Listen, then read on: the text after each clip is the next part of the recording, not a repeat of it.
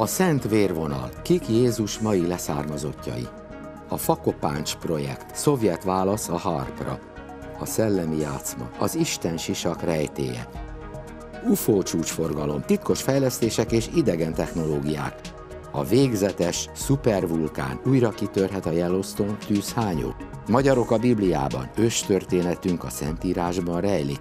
Perverz démonok, éjszakai szexuális támadások, Mindenről és még sok más izgalmas, érdekes dologról olvashatnak a Hihetetlen magazin januári számában kapható az újságárusoknál.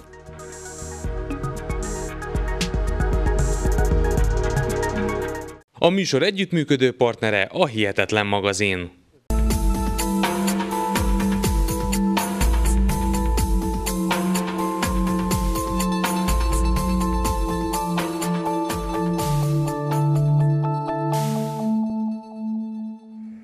Köszöntöm a hihetetlen nézőit Szűcs Robertel együtt. Üdvözlöm Önöket!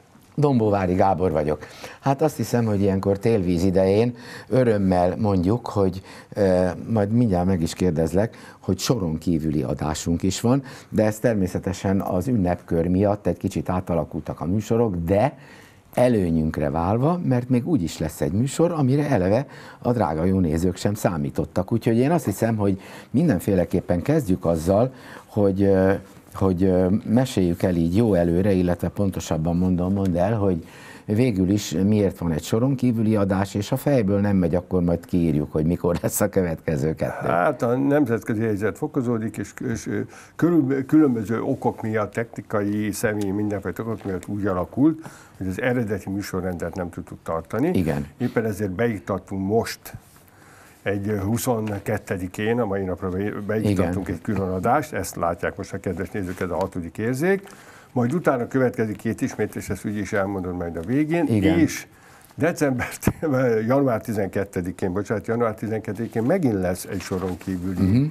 adásunk, Igen. ami nem a, a megszokott menetrend szerint menne, viszont utána rá két hétre már következik a, tehát nem, nem fog eltenni egy hónap, uh-huh. hanem következik a, a január végén következik, és akkor onnantól kezdve visszaállunk a régi, szokásos, megszokott műsorrendbe. Igen. No, egyébként ez csak zárójeles megjegyzés, hogy ez nem csak nálunk van így, hanem nagyon sok felé mindenféle rádióban, televízióban, mert ilyenkor karácsonykor és szilveszter táján azért mindig egy kicsit módosulások vannak. Hát attól függetlenül mi teljesítjük, amit vállaltunk, sorsolni is fogunk, de akkor... akkor Bocsánat, mind... hagyd tegyek hozzá, Igen, mert te kérted ugyan, és bocsáss meg, kedves nézők is, meg te is bocsáss meg, hogy nem szó szerint idézett be, de hagyd mondjam meg, hogy karácsony előtt nagyon szépen köszönjük. nagyon szépen köszönjük. Annyi rengeteg sok üzenetet kaptunk. A Igen. megfejtésekkel párhuzamosan nagyon szépen köszönjük Önöknek, amelyben Hello, sziasztok, Kuwait, üdvözlet Kuwaitból, ez egy ilyen laza stílusban, békés boldog karácsonyt. Skóciából, most először Igen. egyébként, a Skócia, ez egy költ, Skócia még nem volt Akkor benne. Külön kiemelte, így van, pontosan kiemelte Skóciát. Egyesült. Államokból, uh-huh. Kanadából, Németországból, Szlovákiából, Ukrajnából. Ukrajnából. Ebben a helyzetben, ebben a szörnyű helyzetben Igen. is megtették ezt. Romániából is érkezett, Szerbiából is érkezett, meglepő Ausztriából is érkezett, a Németországot azt mondtam, Svájcból is volt egy kedves nézőnk, ő, ő már eredetileg küldött nekünk ilyen chemtrail fotókat, Igen.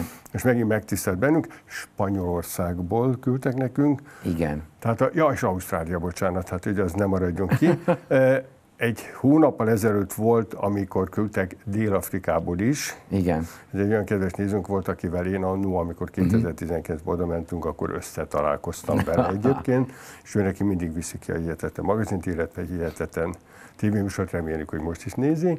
Na, és tehát, hogy a világ minden tájáról jöttek az ott élő magyaroktól, igen. És akkor ilyenkor jön egyébként erre mi a reakció, hiába van karácsony, hiába ez most lenne tényleg Igen. a békének, meg a szeretetnek az ünnepe, akkor ilyenkor jönnek, hogy miért húzzuk a műsoridőt egy ilyen hát akkor elvezetővel. Azért, Igen. mert ez jól esik nekünk, és ezt a tény nekünk szerintem el kell mondani. Akkor el kell mondani, és akkor azt hiszem én is hozzátennék annyit tényleg, hogy a visszaigazolásokat, hát azt tudják a nézők, mert én szombaton délelőttönként a internetes rádióban, a poptarisztia.hu-ban dolgozom, és ott szoktam beharangozni a szombat esti Nagykörút magazint.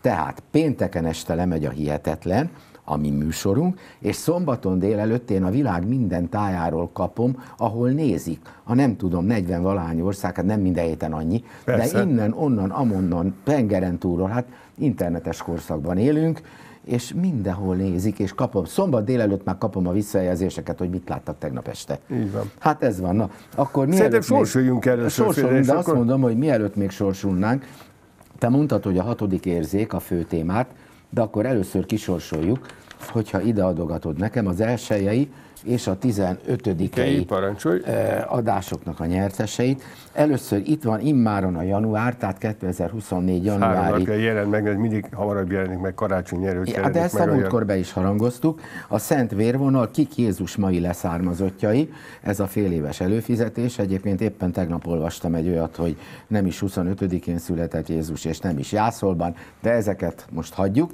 És akkor itt van a külön szám, amit szintén beharangoztál, ami most december és egészen 2024 márciusáig érvényes, az ember sokkal több, mint a teste, a hatodik érzék. Hát mindig elmondjuk, hogy mi nem napi műsor vagyunk, de a témákhoz ragaszkodunk, ezért is ez a mai műsorunknak a címe. És akkor várj, innen még akartam mondani, a, a tudatosan álmodók tíz parancsolata. Erről is szó Erről lesz a mai műsorban.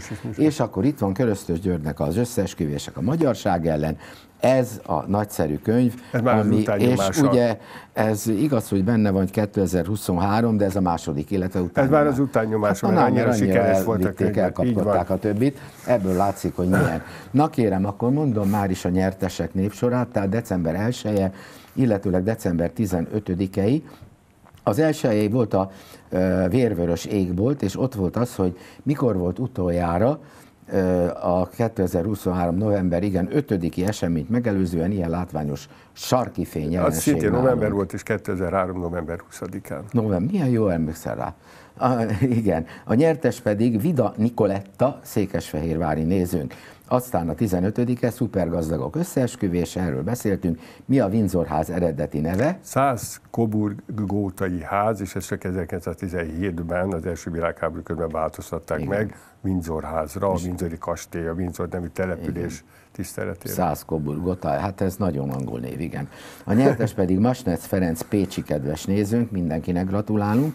Jön a külön szám, a hatodik érzék, Hardi Attila Taszár, és Pálné Zöld Erika Debrecen, a könyvjutalmak nyertesei pedig, ez volt a támadása a magyarság ellen.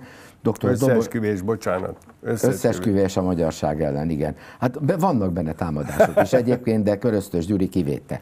Tehát dr. Dobos László József Budapest, valamint Szabó Gréta Szentesi kedves nézőink, mindegyiknek gratulálunk még egyszer, és ahogy mondani szokták, Isten tartsa meg a jó szokásukat, már csak azért is, mert akkor sokáig tudnak minket nézni, mi pedig megpróbáljuk mindig azokat a témákat idehozni, amely témák mindenkit foglalkoztatnak kis túlzással. Megengedsz egy fél perces Egy fél perces. Remélem nem haragszanak a nézők. Igen. Csak ez a poén. Jött megint ez az óriási havazás, ez olyan volt, mint a 2013 ja, március múltkor. Hát azért nem volt olyan régen. Hát két napig, aztán két napig én, én egy kettes házban lakom, Igen. nálunk volt 40 centis hó, Lapátoltad? Ne, próbáltam, de, de olyan nagy területű kellett volna, meg úgy, tehát olyan speckó, a, a garázs az bent van egészen, mit 50 méterre bejebb, Igen. tehát azt nem tudtam megcsinálni.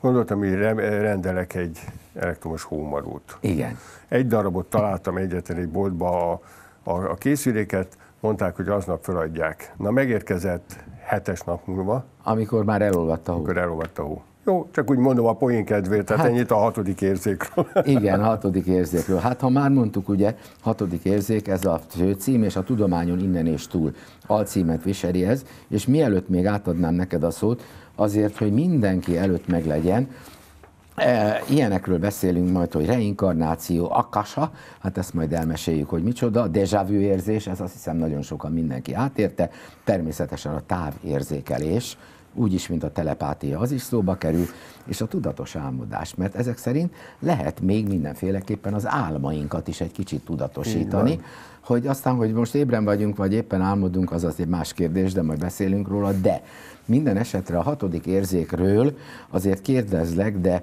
annyit mindenféleképpen így, így előjáróban, hogy normális idézőjelbe vett körülmények között az embernek ugye van öt érzékszerve, ami a látás, hallás, mi van még, szaglás, tapintás és, ízlelés. és az ízlelés. Na most ez a hatodik érzék állítólag, ez, ez, a, ez a bizonyos hatodik érzékszervünk, amit tulajdonképpen nem tudunk, de, de állítólag az agynak egy olyan működése, hogy ilyen van, csak nem tudjuk érzékelni, pedig mégis van. Egyébként gondold végig, hogy milyen érdekes, hogyha ha, ha megfeszülsz, akkor sem tudnám mondani még egy érzéket. Tehát, hogy, hát, ez, hogy mi lehetséges, hogy ez, ezzel az öt érzékkel egyébként minden létező dolgot Igen. lezártunk, és azt mondtuk, hogy ez, ebből áll az ember, erre, erre, ezek a képességei. Zárójel van hetedik is. Igen, már. igen, de van hatodik érzék, aztán ezeket még lehet fokozni is. Igen. Ez ugyanolyan egyébként, amikor éppen elgondoltam, hogy hogy megpróbáltunk kitalálni egy új betűt. Ezt uh-huh. felhívom majd a kedvet nézünk, figyelj, próbálkozzanak meg. Igen. Nem fog eszedbe jutni semmi. Nincs egy semmifajta olyan, ha nem csinálsz egy olyat, hogy két betűben, még magyarban a DZ, Igen. Z vagy a Z, DZ betű, ha nem, akkor nem fog, vagy K betű, TY, tehát G betű, nem fogsz tudni ilyet mondani. Na mindegy, tehát ez volt az öt érzék, Egyáig meg voltunk róla győződve, hogy mindenkinek csak ez az öt érzéke Aha. van. Bár már nagyon-nagyon régen az őseink is, Ajaj. már, már, már évezredekkel ezelőtt is azt mondták, hogy kell lenni ezen kívül plusz egy valaminek, amit nem igazán tudtak meghatározni, hogy mi az.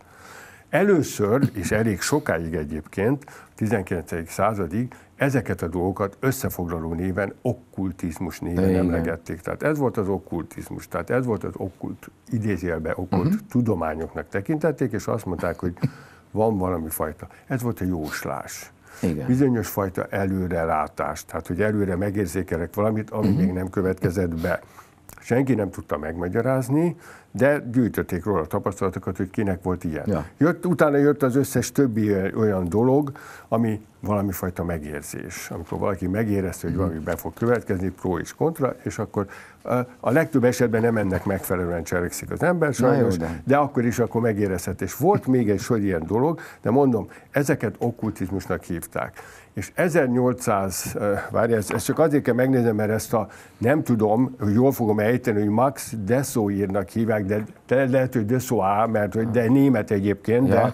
de, de, de, de így írta, hogy igen, tehát a Max, igen, a Max, a, Max úgy gondolta, hogy ezt inkább le kellene cserélni, ezt az okkult uh-huh. kifejezést, és akkor ő alkotta meg egyébként a para pszichológia Igen. elnevezést, amikor egyébként 1965-ban volt egy, egy kongresszus, és ott az akkori csehszlovák, mert akkor még Csehszlovákia volt, csehszlovák képviselők javaslatára a pszichotronika elnevezést is meghatározták, de maradtunk a parapszichológiánál, uh-huh. ez három ilyen görög szóból tevődik össze parapszichológia azért az már sokkal tudományosabban hát hangzott, az már nem úgy nézett ki, hogy okkultizmus, tehát azt mindenki uh-huh. azt mondta, hogy jó, igen, jönnek uh-huh. ezek a buta beszámolók asztaltáncolásról, lebegő emberekről, ja. gyerekről, nem, nem erről volt szó, és utána elkezdték ezeket a dolgokat nagyon-nagyon komolyan tanulmányozni. Uh-huh. És a legnagyobb problémát én most ott látom, hogy a tudomány és a parapszichológia igazából nem bír egymással. Nem bírok egy... Ez ugye? Az, ez az. Tehát szerintem ez a legjobb kifejezés. Azért, mert a rengeteg sok olyan parapszichológiai dolog van, uh-huh. amelyet laboratóriumi körülmények között nem lehet mellők elégképpen megismételni. Igen. Tehát lehet, hogy nem tudják megcsinálni ezeket. És akkor hát azt a, mondják, hogy nincs is. Na, na, de most ez a legegyszerűbb Persze. válasz, nem? Tehát megvannak a, a, a, a Aj, most azt akartam mondani, hogy begyepesedett adó tudósok, de hát nem fogom ezt mondani. Mondd azt, hogy mond... fékezhetetlen agyvelejű. Jó, tehát azok a abszolút konzervatív tudósok gyakorlatilag ennek az egész jelenségkörnek az összes dolgát cáfolják. E, pedig, várjál, pedig Igen. erre, rögtön mondhatod, ne hallj egy pillanat csak, Igen. hogy pedig erre tényleg számtalan bizonyíték van. Mi is beszéltünk már erről, én is beszéltem már, én a pár hónapra az általad ismert Erikával, hogy verést csináltuk Igen. ilyen gyakorlatokat, és hogy tökéletesen működött, tehát biztos, hogy maga a dolog létezik. Az én számomra, mm. miután egy racionális ember vagyok, én erre mindig bizonyítékokat keresek, és amikor találok igen. valamit, valakit, aki ezt az egészet bizonyítja, akkor azt mondom, hogy igen. De olyan uh-huh. kísérleteket csináltak. Emlékezzél, szerintem valamelyik műsorban említettük 57 vagy 58-ban az amerikai igen. Nautilus atomtengeralattjáróval ah, csináltak igen, egy kísérletet, amikor Tenger 3500 kilométerről ment a telepatikus dolog, és bejött. Igen. Voltak pszikémek, most ezekről nem fogunk ebbe a, a, a műsorban ilyen, mert nem ez a tematikája. Tehát rengeteg olyan bizonyított dolog volt távolba látásra. Igen. Közismert, hogy az ikrek mennyire érzik egymást. Pontosan. Na most a, a a parapszichológia területén az összes tudományos dolgot szeretnék beépíteni, uh-huh. az összes tudományos dolgot megpróbálja elutasítani az összes parapszichológiai tény, mondván, hogy tessék nekünk laboratóriumi között megismételni. És bocsánat, utolsó, nagyon jó, hogy mondtad a legelején ez a tudatos álmodás, hogy most ezt ja. mennyire lehet ellenőrizni. Hogy lehetne ellenőrizni? Laboratóriumi körülmények között az, az, hogy egy illető elalszik, az igen, mert ráraknak a penyére az agyhullámait, de az, hogy ő az álmában fölébred, és ezt a fölébredést tudatosítja magában, hogy ő álomban ébred föl, igen. és onnantól megpróbálja úgy alakítani az eseményeket, és jelen pillanatban semmilyen műszerre nem lehet. Ez így van, és akkor az alvajárásról nem beszélünk. Hát, de akkor még annyit én szeretnék hozzátenni, és aztán ráhajtunk, mert azért vannak itt nagyon jó bejátszók is. Kiadjuk őket, hát de, nem persze. Tudod, szóval tulajdonképpen mondták, hogy végül is ez a belső hang, vagy isteni sugallat, vagy nem tudom, intuíció, de egy, amit én megnéztem, hogy az angol szakkifejezés az pedig úgy van, hogy extra szenzoriális percepció. Igen. Hát ezt Ez az érzéken belüli érzékelésnek fordították igen, igen. magyarra, igen. Na de egyet azért hozzuk szóba, és akármennyire is megy az idő, de de mindenféleképpen kutatók azért ezzel foglalkoztak nagyon sok helyen, és arra jutottak egyértelműen, hogy és nem csak általános sztereotípia, hogy a nők megérzései jobbak a férfiakénál. Vajon Hát miért van ez? Vagy a nők, ahogy olvastam, máshogy viszonyulnak ehhez a képességükhöz? Ha hát most a, egy ilyen jó. érdekes kifejezéssel egy nőnek, nőknek igen. máshogy van húzalozva az agya. Igen. És én sok más, és nem fogok most ebbe Na jó, hát, belemenni, várjál, hogy mm. éppen ezért a Jóisten tartsa meg ezt a szokásukat. Így és van. maradjanak, és ne akarjanak olyan dolgokat felvállalni, amit eddig férfiak csináljanak, ne akarjanak hadügyminiszterek lenni, ne akarjanak katonák lenni, hanem örüljenek, hogy megvannak ez a fantasztikus olyan képességei, Áldva. ami sokkal, de sokkal fejlettebb, mint Igen. a férfiaknál. Így van, és akkor... És ez uh, egy fantasztikusan, ez, ez bizonyos értelemben többé teszi őket. Persze. És ezeket kéne fejleszteni, ezeket kéne rámenni, és nem arra kéne, hogy na most csináljunk nem tudom milyen kvótákat, és akkor is x számú nő legyen na benne, ja. hogyha aznak a nőnek nincsen semmifajta affinitása. Így van. Hát akkor azt hiszem, hogy egyetérthetünk azzal, amit mondtak, a jelszavukat, mert ugye mi azt mondjuk, hogy hiszem, ha látom, és a, miután léleklátásról is szó lesz, a lélek pedig azt mondja, hogy látom, ha hiszem. Na jó, akkor ugorjunk Azt neki. ugorjunk bele az elsőbe. Ugorjunk bele az elsőben, mert már itt említettem, hogy reinkarnáció és a paranormális evolúció eszköze. Akkor mehet? Mehet. Köszönjük. Tessék.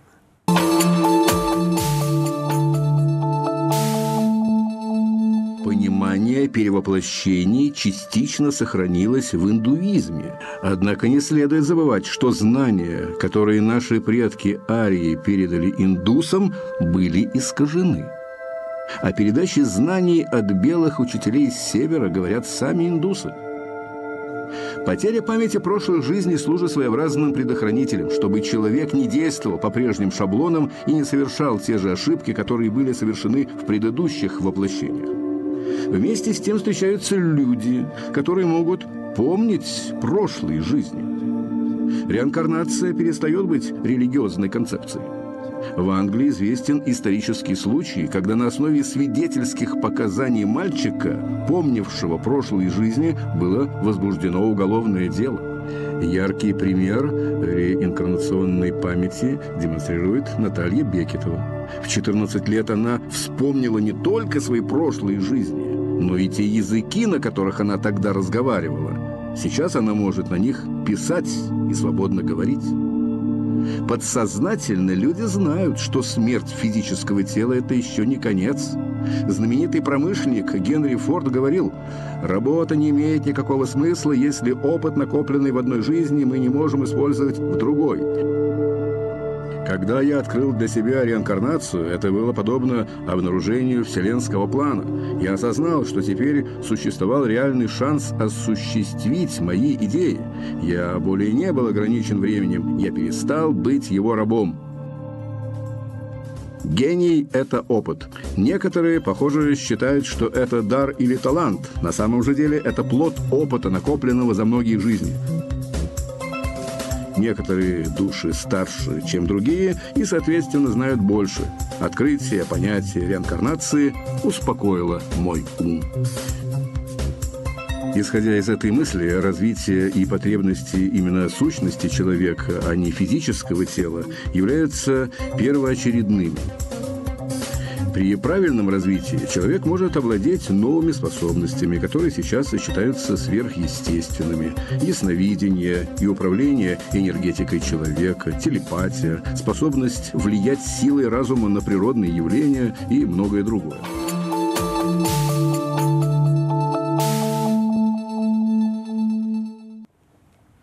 Hatodik érzék ide vagy oda, remélem, hogy a drága jó nézők jól hallották az orosz nyelvű szöveget. Mi egy kicsit halkan itt a stúdióban, de ezt meg fogjuk oldani. Na hát szóval mindenféleképpen... Remélem nem okoz senkinek sem politikai csalódás, hogy itt orosz igen, hát ezzel megint csak nem tudnak minket megvádolni, hogy, hogy Putyin barátok, meg ilyenek. Csak azért mondom, hogy ilyenek, hogy feltűnt, igen, hogy mert orosz parapszichológiában, az orosz parapszichológia közismerten nagyon ismert volt, sok képviselője volt Bizony. itt egyébként, és különböző, még a rendszerváltás előtt is itt voltak, és különböző kísérleteket csináltak. Nem, most nem Rasputinra gondolsz? Nem, nem.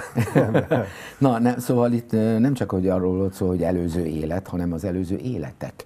Tehát, hogy nagyon-nagyon sokféle megnyilvánulása lehet, és hogyha már, hát amíg itt önök is nézték ezt, a nézők, itt én is fölírtam magamnak, amit Henry Ford mondott, és általában ő azért nem vallási alapokon nyilatkozott annak idején, hát az, az, az nagyon érdekes.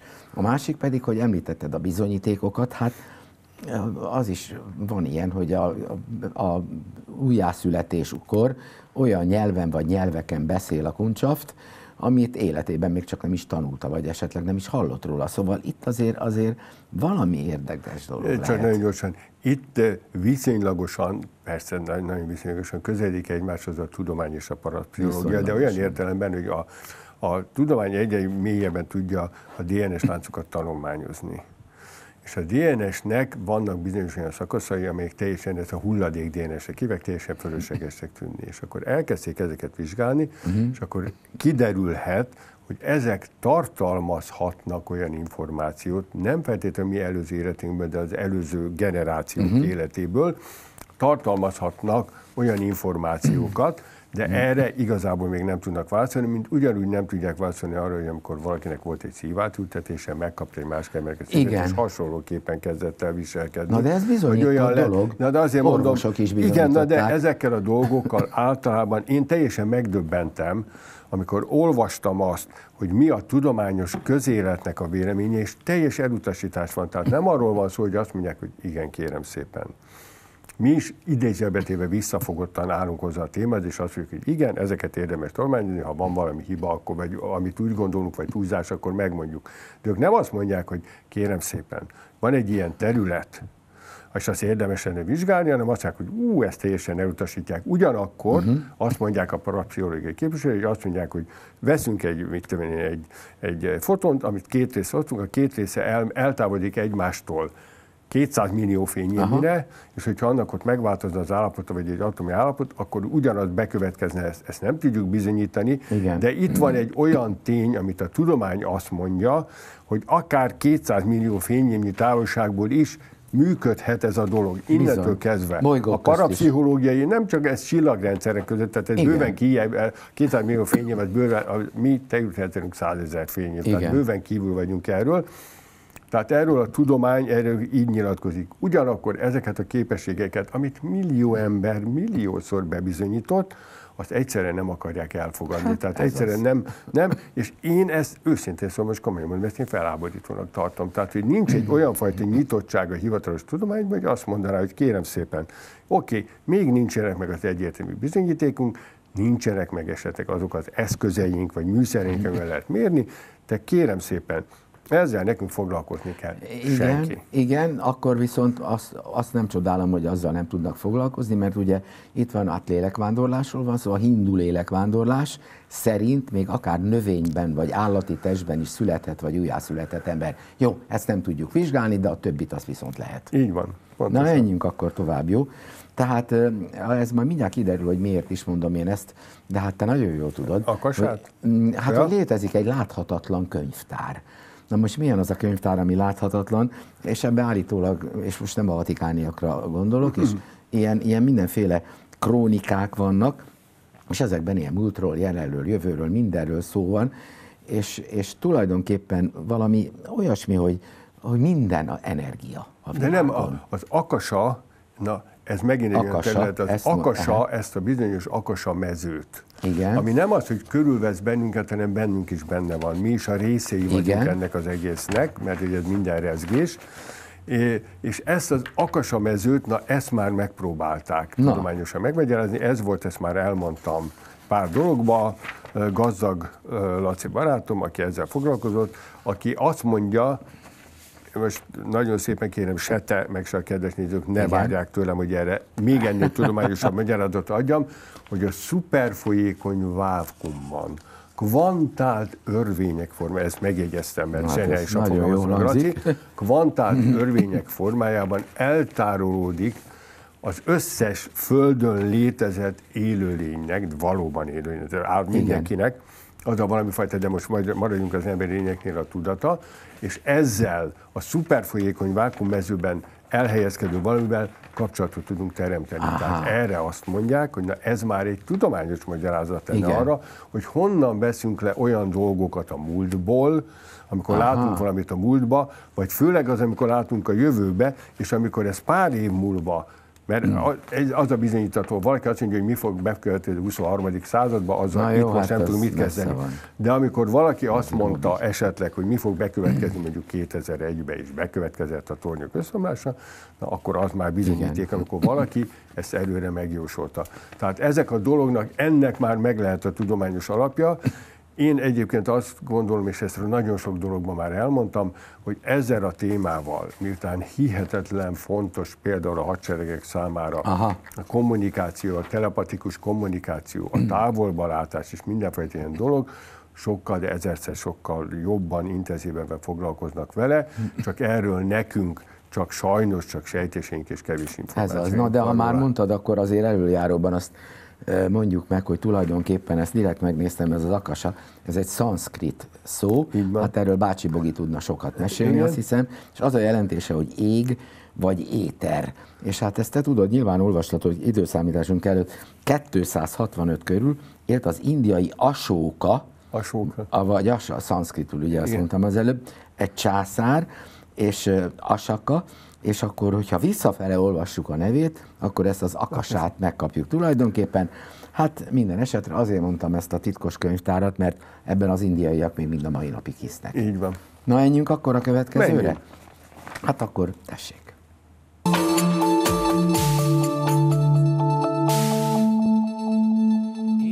Az ősi misztikusok, jogik és látnokok úgy tartották, hogy létezik egy erőtér a tudat gyökerének a szintjén. Ez Akasa mezeje, vagy Akasa feljegyzései, Akasa krónikák, ahol minden információ, minden tapasztalat, múlt, jelen és jövő egyszerre létezik, most és örökké. Ebből a mezőből vagy mátrixból keletkezik minden, szubatomi részecskék, galaxisok, csillagok, a bolygók és minden élőlény.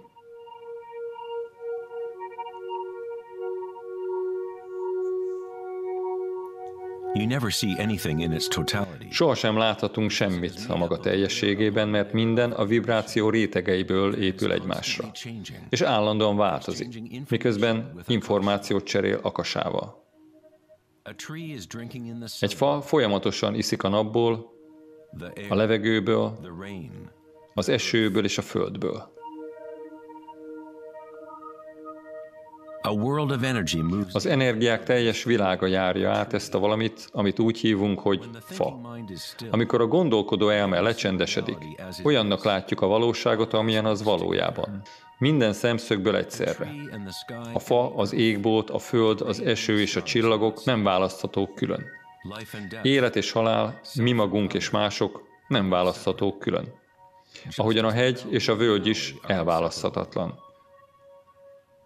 Az amerikai őslakók és más benszülöttek hagyományai szerint mindennek lelke van, ami tulajdonképpen azt jelenti, hogy minden összeköttetésben van az egyetlen vibráció forrással. Egy tudat létezik, egy mező, egy erő, ami mindent áthat. Ez a mező vagy erőtér nem körülöttünk van, hanem áthatol rajtunk keresztül, és úgy történik, mint mi magunk. Mi vagyunk a mi, a világ mindenségben. Mi vagyunk a szem, amelyen keresztül a Teremtő látja saját magát.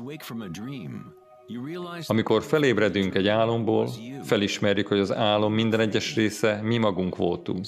Mi teremtettük meg az álmot, az úgynevezett valódi élet nem különbözik ettől. Minden és mindenki mi magunk vagyunk. Az egyetlen tudat vigyáz minden szemen keresztül, mindenhol,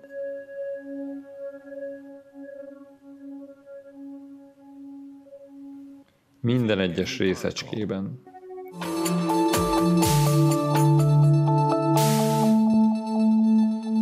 Akasánál.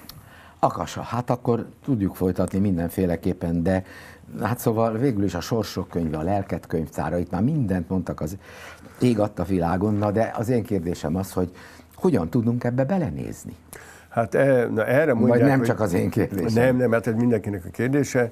Na, erre jönnek általában, amikor azt mondják, hogy ehhez kell egy megfelelő állapot. Ehhez megfelelő állapot kell, kell egy meditatív állapot, amikor olyan állapotba kerülsz. Ez tulajdonképpen már olyan, ezt akkor szokták elérni, amikor hipnotizálnak. Tehát amikor ja, hipnotizálnak igen. valakit, ez gyakorlatilag egy önhipnózis. Amikor hipnotizálnak uh-huh. valakit, akkor az azt jelenti, hogy a tudat a teljes egészében beszűkül. Tehát beszűkül, Igen. a külvilágnak azokat a dolgait, amit normál körülmények között elfoglalják az agyát, és jár rajta az agya, azokat tényleg kizárja, és akkor utána van az, amikor erre szokták, ezt sokszor mutatom, amikor egy ilyen kis fényes dolgot így nézem, aztán, és akkor mondják, hogy nehezül a szemhéjad, elnehezül. Most ezt az állapotot, az a baj igazából, legyünk őszinték, ezt az állapotot nagyon nehéz elérni, önállóan. Hát jó, hát, hát amikor így van, igen, de nem, de itt, itt azt várják el, hogy otthon érd el, vagy rengeteg ja. sok olyan dologba, akkor meg kell oldani valami fajta akármilyen problémádat, akkor azt mondják, hogy na, ezeket a módszereket alkalmaz. A probléma az, hogy az emberek 99,9%-a nem tudja alkalmazni ezeket a módszereket, mert éppen azért tett olyan. Tehát nem lehet valakit meggyőzni arról, hogy mostatok kezdve próbáld meg azt, szépen üljél le ebbe a rohanó világba, és csináld Igen. meg. Én erre azt szoktam mondani, ha valaki ott van fönt Tibetbe, ott van fönt egy kolostorba, semmi más dolga nincs, mint ott mantrázni és csinálni akkor a dolgokat, ráér. akkor ő leül ott a, a kis cellájába, fölmelegíti a testét, és minden ilyen, minden ilyen dologra képes. Ezt egy átlagember nem tudja, pedig egyébként is ez a válasz a kérdésre, de ez kellene. Tehát, hogy el kellene jutni Igen. egy olyan állapotba, mint ahogy egyébként más a régebben a sámánok, dervisek például azzal a pörgő dologgal, Igen. de egyébként ehhez bármilyen, és ez nem egy kábítószer propaganda, ezekhez a sámánok is mindenfajta tudományos szereket használtak. Így akár van. tetszik, akár nem. És abban az állapotban sikerült nekik eljutni, de nem arra, arra akarjuk rábeszélni, hogy mindenki rohanjon el heroinért, vagy kokainért, ja. vagy valamilyen, és akkor az, de például, amikor mi voltunk Peruban, akkor ott, hogy ifjúsunk, ők lementek az Amazonashoz is, és ott mondták ott a ajavaszkát. Tehát hát ott volt az ajavaszka, az egy kis, mert itt is nálunk is volt belőle probléma, mert volt valamelyik egy ilyen hölgy egy részt vett ilyen ajavaszka szeánszon.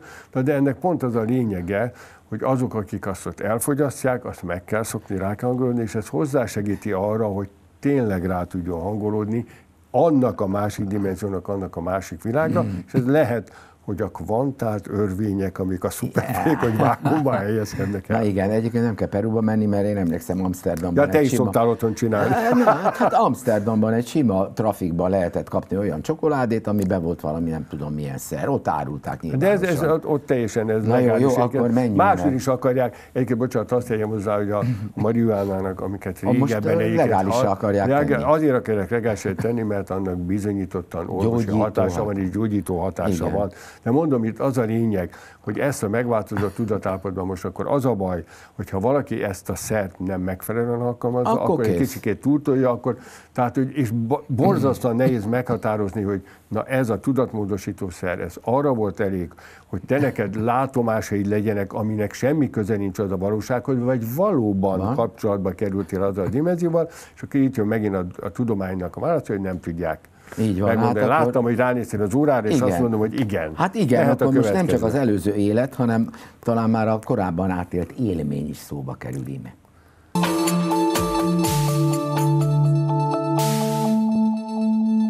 describes an eerie and sometimes uncanny sensation of already having lived an experience you find yourself in, or the feeling that an experience is incredibly familiar, but not knowing why it feels that way because it shouldn't. Because of its random and sudden nature, it's difficult to recreate in a lab setting. Therefore, it's unclear how many people experience deja vu. By some estimates, at least 30% of people have experienced deja vu, though other estimates suggest that the range could be higher, from 60 to 80%.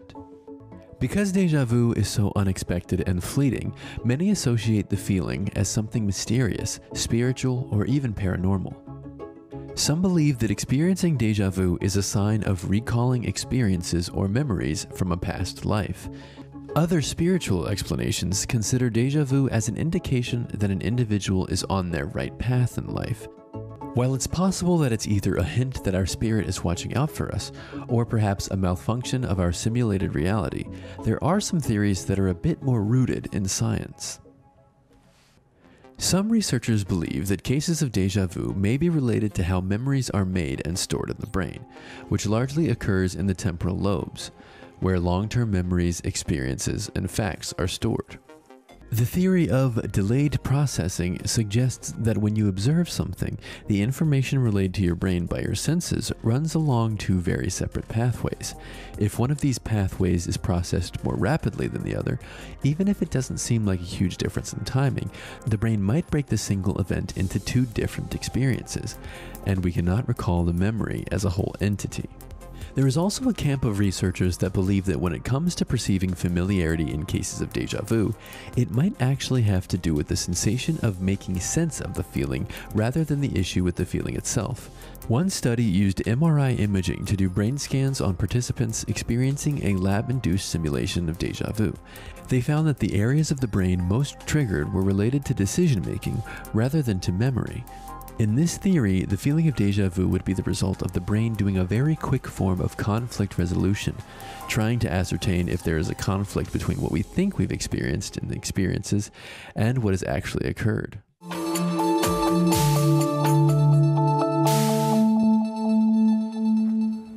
Na, szóval itt Virágot Algernonnak volt egy ilyen film is, meg minden. Ó, hát a kedvence, meg regény is, ez egy zseniális volt. És itt keresgélte szegény egérke. De nem de, az volt, bocsánat, de, nem az volt a lényeg, hogy egy emberről volt szó, akinek a képességét fölfejeztették, és, mondom, nem az, és az Algernonnal de azzal hasonlították össze. össze. Így van. Na de akkor most tulajdonképpen most nem mondom azt, hogy hogy ez tudományos magyarázatnak nézett ki, de annyit minden esetre, mint ahogy nagyjából mindenhol elmondtuk, hogy mi ez a déjà vu, hát ugye franciául, és ez azt jelenti, hogy már láttam. Hát van egy ilyen tudományos kifejezés is, hogy param, paramamnézia, vagy hogy Igen. van? Paramnézia. Paramnézia. Ez az, hogy az is úgy érzi valaki, hogy amikor az a helyzet, amiben van, már egyszer megtörtént, vagy átélte korábban, és vagy megtörtént vele, vagy nem történt meg vele, de minden esetre ez Hát szóval bizonytalan ez a dolog, mint maga az átélt szituáció. Például most gondold végig, amikor jönnek a tudományképviselők, azt mondják, hogy na akkor ezt kéne vizsgálnunk. Ez egy nagyon Igen. korrekt vizsgálat volt, mert itt egy emeri vizsgálatot csináltak, és az Igen. agynak a teljes szeretenként őt föl, és tökéletesen látták, hogy az agynak melyik, melyik területen miképpen reagál rá. Tehát ez már egy korrekt vizsgálat volt, de nagyon, ezt nagyon nehéz bizonyítani, amikor tényleg ott van valaki, és akkor azt mondja, hogy én már jártam itt. Igen. És akkor innen jön az a dolog, hogyha valaki nagyon hisz ezekben a dologban, nagyon hisz ebbe az egész parapszichológiába, az okkultizmusnak a, az újabb kifejezése, ebbe a parapszichológiába, akkor ő azt is fogja mondani, hogy igen, valószínűleg az előző életében járt itt, tehát ez már kapcsolódik az előző jövendő életekhez. Tehát ennek egy nagyon-nagyon nagyon-nagyon komplex dologról van szó, és eszembe jutott még az előzőről, hogy Igen. mondtad a, ezt az asókát és a, a időszállításunk előtt 200 évvel ezelőtt volt szó, ami, ami 265, uh-huh. bocsánat, tehát amit ő akkor ott megfogalmazott és amit ott írt, az gyakorlatilag hihetetlenül tudományosnak tűnik, mert ő azt mondta, hogy ez az akasa, ez az a teremtő valami fajta közeg, amiből minden létrejött. Abból jött ért az egész világegyetem, Igen. az összes csillag, az összes bolygó, az összes hold, az összes minden, és az azon levő összes élőlény, mindent ebbe jött össze. Na most a tudománynak is az egyik nagy kérdése ez, hogy honnan is van ez az egész? Hogy Igen. honnan jött ez az egész? Hol volt benne ez az információ? Mi indított el a mhm. fejlődését? Milyen lenne?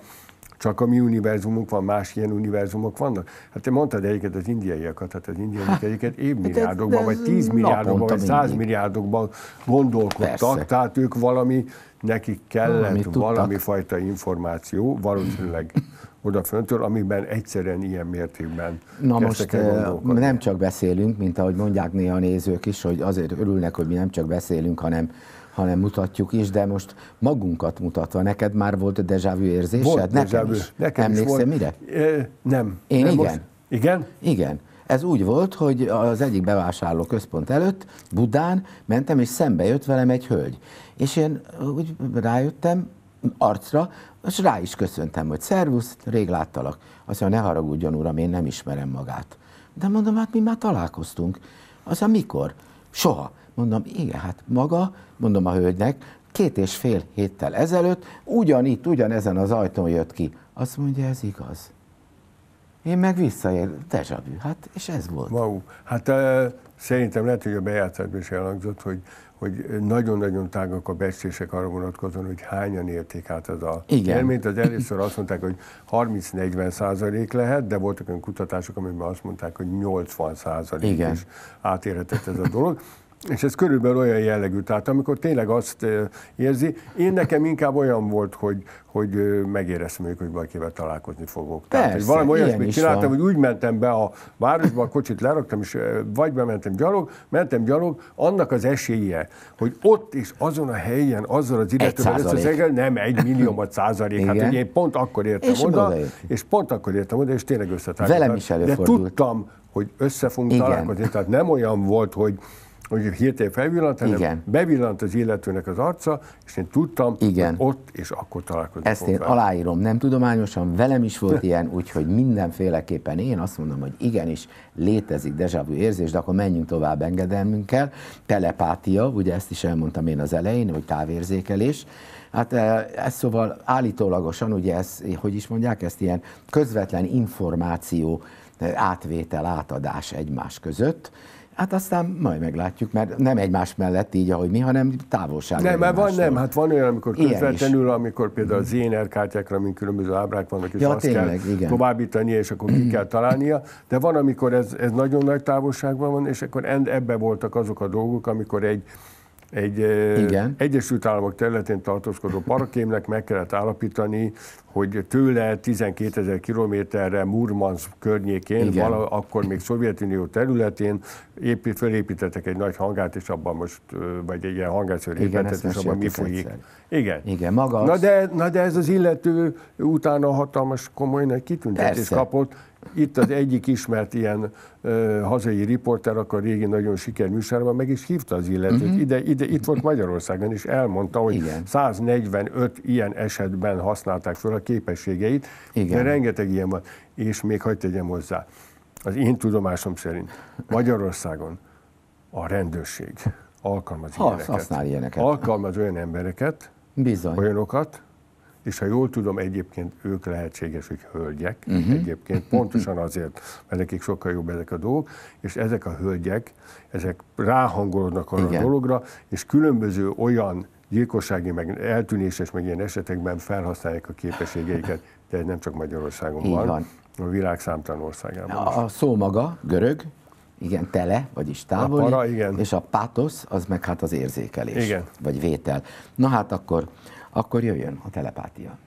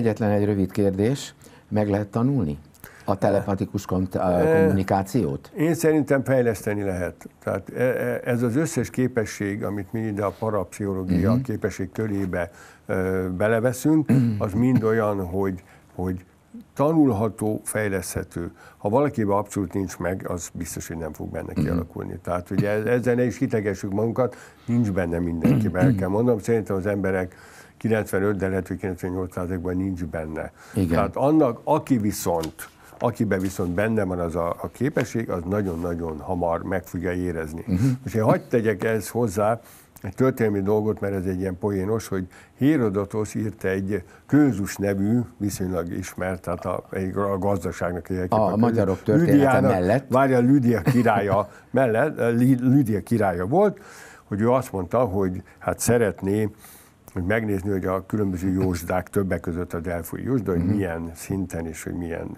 működnek. Igen. Na most elküldött egy küldöttséget oda, és azt mondta, hogy nem csak oda, hanem tíz különböző helyre küldt el, és azt mondta, feltette azt a kérdést, hogy mindegyik mondja el nekik, hogy most kérdezzék meg őket, hogy ő, Aha. mint Lüdia királya éppen mit csinál. Elég elítélhető módon ez egy eléggé szadista ember lehetett egyébként, mert földarabolt egy teknős békát, meg egy bárányt. Meg akarta Apró darabok, nem, nem, berakta egy bronzüsbe, és elkezdte főzni őket. Ez Aha. egy eléggé pervez, ennél azért sokkal humánusabb kísérlet is lehetett.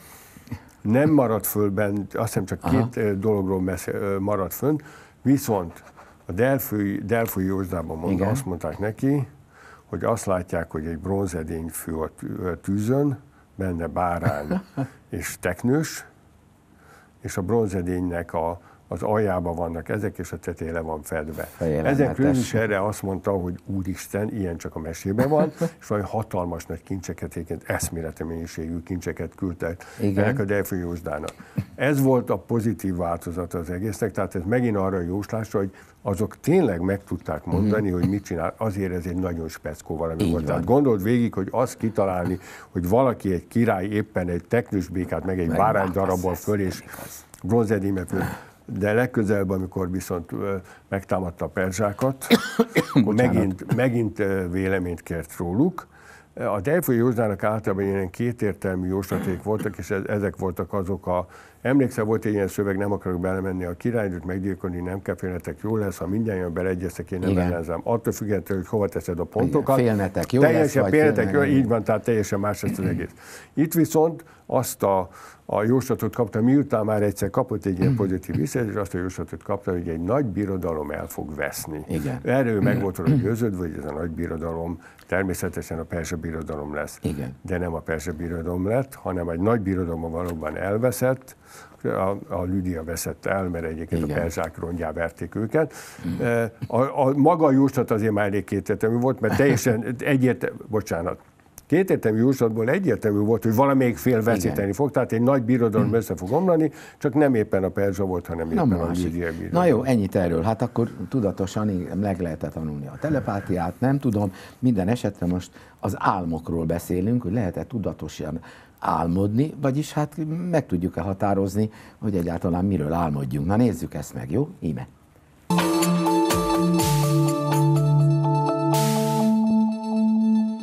For as long as we've been able to talk about our dreams, we've been fascinated by them and tried to understand them. Within us, we have this inbuilt virtual reality. We don't have to make it up, we don't have to invent it, it's there already. Even though strange and impossible things often happen in dreams, we usually realize it was a dream only after waking up. Many people will have uh, experienced this at some point. They've realized they're dreaming and then they will have woken up straight away. However, it is possible to learn to become aware that you are dreaming and start controlling the events. These dreams are called lucid dreams, and the experience is like waking up in your dream. A lucid dream is when you become aware of the fact that you are the dreamer during the dream and you can actually vocalize that to yourself intellectually. But the odd thing about that is it tends to go along with both the feeling of, oh, now I am aware in my dream, or I've woken up in my dream. And also it goes along with a sense of control, that I can control my dream. It's much more than a vivid dream, because we all know what vivid dreams are like, but there's another element, and that is that you are fully aware that you are in a dream. Everything's sort of solid. My God, this is a dream. It's an incredible situation. Lucid dreaming itself, as a form of mind training, goes a bit deeper. That is, using the canvas or the platform of the lucid dream to gain insight and access to levels of mind which, in the waking state, are often inaccessible. The only limit is your imagination. So, whatever you can imagine you can do, you can pretty much do.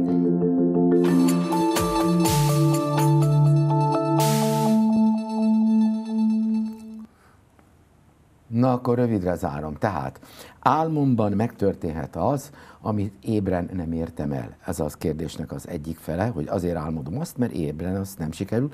A másik, és ez saját tapasztalat, hogy szoktam olyanokat álmodni, hogy tökéletesen ismeretlen helyen, ahol életemben nem voltam, és ismeretlen emberekkel kezdek beszélgetni valamilyen témáról. És reggel, mikor fölébredek, akkor az jut eszembe, hogy most honnan jön ez bele a tudatomba, ahol soha az életben nem is voltam. Hát például ez, ez megint, ez már viszonylag... Vagy az jobb. előző élet.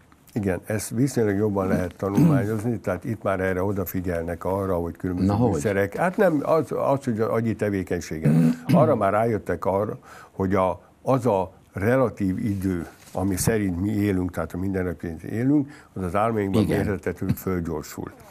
Nekem volt olyan álmom, hogy azt álmodtam, hogy mentem valahol, hogy és várj, nem, és ja. megjelent egy tűzoltó autó, és nagyon keményen elkezdett szirénázni, Igen. és én félreléptem. És rá két másodperc múlva meghallottam, hogy csöng az ébresztő óra. Oh. Tehát magyarán ez azt jelenti, hogy megszólalt az ébresztő óra, Igen. de én visszamenőlegesen erre 20-szorosan, 50-szeresen, 100-szorosan felgyorsítva megálmodtam hozzá egy történetet. Tehát, hogy, vissza, tehát hogy egészen másképpen működik. E, ez a dolog, amit te mondasz, ennek van egy e, nagyon nagy előnye, hogy fantasztikus dolgokat lehet átélni. Szerintem erre is nagyon-nagyon-nagyon kevesen képesek, de akik képesek, arra viszont nagyon sok dolgot átélnek. Tehát, magam. Igen, tehát az nagyon sok ilyen dolgot átélhetnek. Hát fél, de én azt mondanám, hogy ez bizonyos értelemben ez olyan, mint a Matrix. Igen. Tehát, hogyha be akarok menekülni, mert te nagyon jól elmondtad, hogy azokat a dolgokat, amit nem tudok a való világban, a fizikai világban megvalósítani, azt, azt megpróbálom az álmomban megvalósítani. Ebből az van, hogy ugyanúgy, hogy az ember abból az álomvilágból nem szívesen ébred föl. Igen. És van olyan, aki úgy gondolja, hogy az ő álomvilága, az ő általa teremtett álomvilág az a valóság, Igen. és a milyenké csak egy valami fajta, valami nem tudom milyen másik világ. Itt megint mondom, az a probléma, hogy borzasztóan nehéz azt megállapítani, amikor valaki fölébred, és azt mondja, hogy megélt különböző dolgokat. De itt régebben mi már szenteltünk ennek egy vagy két műsort, amikor konkrétan Szerintem az lesz egy nyereménykönyv is, amiket a. Raduga nevezetű úr, ami konkrétan bebizonyította, hogy hogy, hogy történtek földön kívül találkozások, mindenfajta dolgot megéltek, és hogy te hogy élheted meg ezt az élményt. Ennek a következő foka már az lenne, amikor elképzelhető például, hogy azok az emberek, akik ezt a képességeket kifejlesztették magukba, már egy körben egymásnak is át tudják adni ezeket az információkat. Tehát nem csak úgy belépnek egy olyan térbe, a szuperfolyékony vákunk van, van, tehát belépnek abba a különös térbe, az Akasa térbe, Aha. és onnan ott van a tudatuk, és ott már meg tudják csinálni, ez már egy ilyen matrix Így van. Dolog. Egyébként nagyon sokan azt mondják, hogy ilyenkor érdemes úgynevezett álomnaplót vezetni, és akkor tudod kontrollálni saját magadat, de akkor én már is mutatom a nyereményt, de előbb elmondom a kérdést, Isten bizony nem én találtam ki. Én hány, találtam ki. Igen, hány lába van egy százlábúnak? Még egyszer, hány lába van egy százlábúnak? Csak hogy ne úgy félreértsük. Tehát akkor... a, a, nem száz. Nem száz, ennyit igen. Na, a, kérem szépen január, előfizetés, fél év, a Szent Vérvonal, természetesen hihetetlen, akkor itt van a leges, legújabb különszám. Ami, ami mai nap jelent meg. Mai nap jelent meg, és márciusig érvényes, a hatodik érzék, hát nem véletlen, hogy erről is beszélünk, mindenfélét, és akkor itt van ez a Fázis című könyv, a valóság illúziójának megsemmisítése. A persze sort olvasom, mert az, az Most oda adok ki, hogy a tudatos álmok és a testen kívüli élmények nagykönyve. Kérem szépen, duplán tessenek figyelni, és akkor már is mondom a többi tudnivalót. Száz lábut azt ugye megmondtuk, hogy nem száz, és akkor hihetetlen tévékukat, hihetetlen magazin.hu, erre a címre kérjük tisztelettel a jelentkezést, méghozzá január 10-éig. Már olyan boldog új évet van akkor, és akkor 10-éig, és akkor a sorsolás ennek megfelelően a január 12-i szintén úgymond soron kívüli adásunkban lesz, és akkor az év végén, meg a következő év elején egy-egy ismétlés következik természetesen. December 29-e megismételjük a 2018. január 5-i adásunkat, a Jézus összeesküvés, ez volt a műsorunknak akkor az első része. Jézus megváltó, vagy inkább forradalmár volt, nem tévedés, és a következő ismétlés az már az új esztendőben lesz, január 5-én, akkor ennek a bizonyos Jézus összeesküvésnek a második felvonását láthatják meg, és akkor annak járunk utána, hogy Jézus Isten vagy az ember fia volt, hozzáteszem inkább. Új adás tehát január 12-e, angyalok vagy földön kívüliek. Sok szép képet fogunk ezzel, angyali képeket mutogatni, és bemutatjuk, hogy miképpen használható, amiről ma is olyan sokat beszéltünk, a hatodik érzék a kozmikus kommunikációban láthatóak vagyunk pénteken esténként, soron kívül vagy soron belül. Pént, pénteken mindig. este 21-22 óra között mindig itt a hatos csatornán, itt jelentkezünk. Aki nem tudja nézni, mert a szolgáltatója kínálatában nincs benne, az megnézheti a hatos csatornának az internetes felületén az élőadás címszó alatt. Másnap reggel fél 8 és 8 óra tájban fölkerül a Facebook oldalénkre, a Hihetetlen magazin és a Hihetetlen TV Facebook oldalára. Oda, onnan is elérhető természetesen, aki egyenként feliratkozott a Bicsura, a a Rámlűre, az Inda videóra, az természetesen onnan is kaphat róla értesítés, de ide, innen, innen indulva, Facebookra indulva mindig elérhető.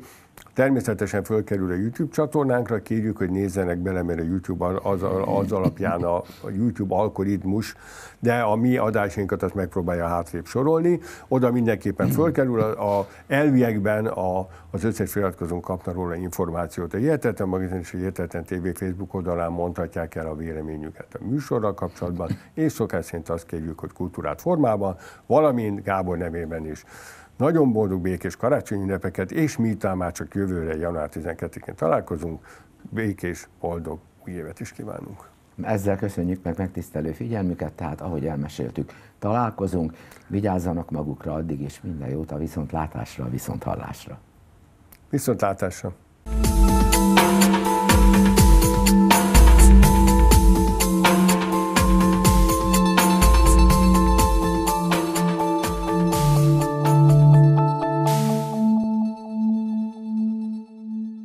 A műsor együttműködő partnere a Hihetetlen magazin. A hatodik érzék. Az ember sokkal több, mint a teste. Ha megtanuljuk a magasabb világok érzékelését, parafenomén Isten emberekké válhatunk. Kilépés a fénybe. Táltos mágia, magasabb világok érzékelése. Jó omen, rossz omen. Érzék feletti szerelem. Kapcsolat az égiekkel. Angyalok vagy földön kívüliek. Tervezzünk álmokat, a tudatosan álmodók tíz parancsolata. Kozmikus kapcsolat. Mindenről és még sok más izgalmas, érdekes dologról olvashatnak a Hihetetlen magazin külön számában. Kapható az újságárusoknál.